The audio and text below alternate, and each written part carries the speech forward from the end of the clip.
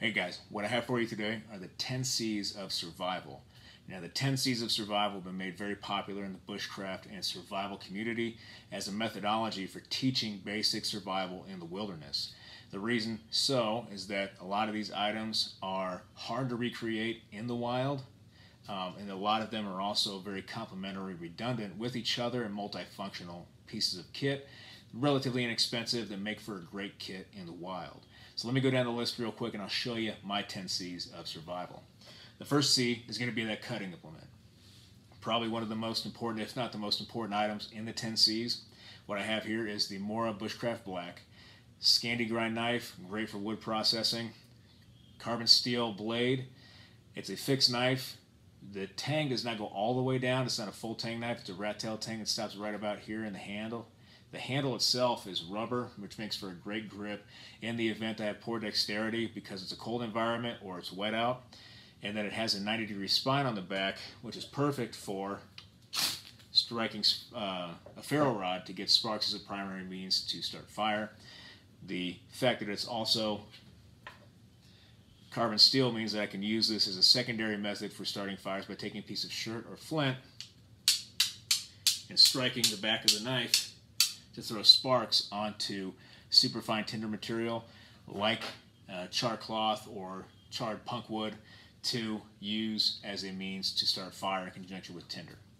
So that's the first C. The second C is going to be a combustion device, which is my ferro rod. This is a 6 inch by half inch combustion uh, device ferro rod with a lanyard on the end and then duct tape uh, around the head for a grasp. Great for also, again, if I have uh, poor dexterity because it's cold out, I can grasp this whole thing and still use enough of the surface area to get that uh, those sparks off and get the material off the ferro rod to ignite tinder. And so this is going to be my combustion device. I'm very confident that I can get tinder together and start a fire with this uh, in just about any situation. Next is going to be my cordage. The cordage I'm going to go with is number 36 bank line, very popular as well. And I wasn't a believer until I attended the course and found out the uh, variety of uses for the uh, uh, bank line. I was a big believer in 550 cord for a long time, uh, just because I've been in the military and seen it work for so long. But the bank line itself is going to be great, great for lashing, can be broken down into smaller materials to use for repairing kit or for medical device like external sutures. You can use it for traps, and this is just a fire and forget uh, cordage uh, weapon, in my opinion, that's going to go in my kit that I'm going to carry every time. Next is a cover element. What I've chosen is the poncho, uh, GI poncho. Very versatile piece of kit. I can wear it as a uh, rain cover, uh, rain jacket. I can use it as a hooch or a shelter device. I can use it as a ground tarp. I can use it to collect materials. I can use it to collect water. Um, I can use it as an improvised litter in the event I need to evacuate a casualty. I can use it as a suspended bed as part of a suspended shelter uh, to sleep on. There's just a lot of material. There's a lot of uh, uses and multifunctionality within a poncho. Um, I keep it rolled up. If you haven't seen my poncho video, go check it out. Uh, but inside, I also have a quick deploy ridge line to set up a hooch out in the woods uh, very quickly with this. So the poncho is going to be what I choose for a cover element. The fifth item is going to be that container. Uh, the container being a single walled stainless steel container that you can place into a fire and boil water. You can also take this container and put charable material in here like 100% cotton or punk wood into the container itself once it's dry and then put the cup over top, put this into the fire, superheat that material, turn it into a char material to start fires later.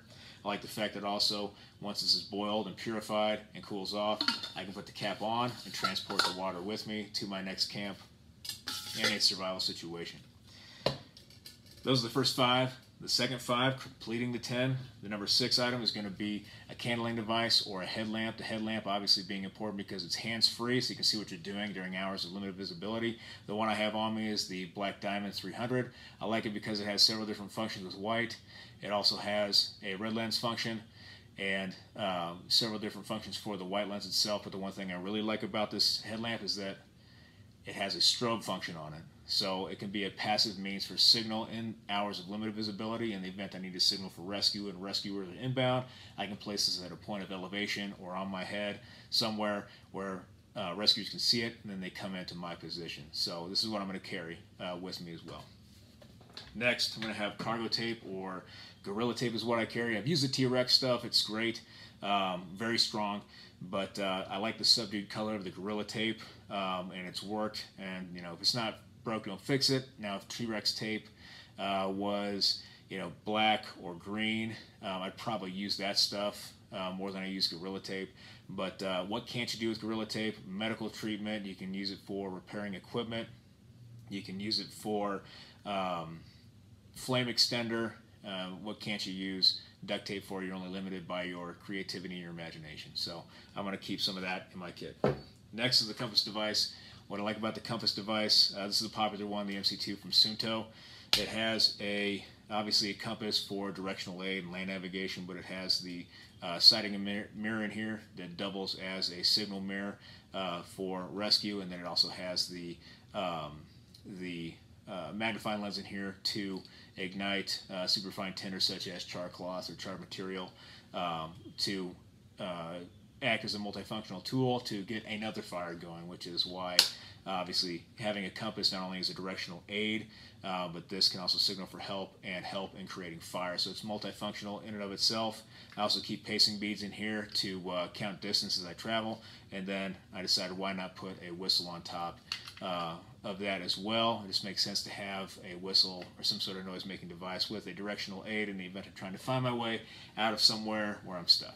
Okay, so that's the compass. The ninth item is going to be cotton.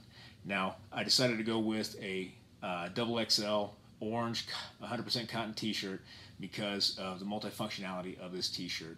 I can wear it and have it as an extra layer as well as a signaling device that I wear and I'm walking around as a walking signal. I can use it as a signaling device up into a point of elevation around a flag. This is 100% cotton so I can use it in conjunction with my container as char material. I can also use this to gather materials. I can use it as a water filter. I can use it as a medical device for a pressure dressing, splinting a fracture, uh, treating a laceration, creating an improvised tourniquet. Another video of mine, go check it out. And the uh, uses of this are limitless. Okay, so uh, plenty of uses for this cotton material. There's a ton of it here, being 2XL, um, so I can use it for a variety of purposes and still have enough left over for other means as well. So I'm going to keep this as part of my kit for the cotton material. And then the tenth and last item, uh, like every good bushcrafter and survivalist, is going to have that uh, 14 gauge uh, sail needle uh, taped to the back of their sheath. You can use this primarily with broken down fibers from the cordage as uh, repair uh, materials for your gear or your clothing. you can also use this for hygiene products like getting splinters out of your skin. You can also take this and take your knife. The knife tip has a negative polarity. You can stroke uh, one end of the needle itself and create an improvised uh, compass with that. And you can suspend it with a broken down piece of fiber to give you a north-south running line in the event you can't find uh, cardinal directions for whatever reason. Uh, but that's going to stay taped to the back of my knife, obviously multifunctional in and of itself with a variety of uses. You can also use it as an improvised tool like a reamer or an awl. Okay guys, so the 10 C's right here, which is the brief explanation of what a lot of these items offer. Obviously very hard to recreate in the wild, but the 10 C's is what's going to be the core of my kit. I hope it's the core of your kit. If you didn't know, now you do. Uh, but uh, you're going to see these items come up again and again in my kit um, as just the center of it. Obviously, you can take some of these away and put different items in their place depending on the situation, the environment, the temperature, the season. Uh, but this is the 10 C's are going to remain consistent across the board. Just some of the items may differ uh, here and there, but that's all tailored to your situation, the environment you're in, uh, compared to the environment I'm in, and then what's good for me and what's good for you. So, 10 C's of Survival. I hope you guys like this video. I want to say thanks for all the likes, all the subscriptions, uh, for the views, and then for the comments and shares, everything you do for the channel and for me. I really appreciate it. But I'll be back with another video just as soon as I can. Okay, guys? Thanks.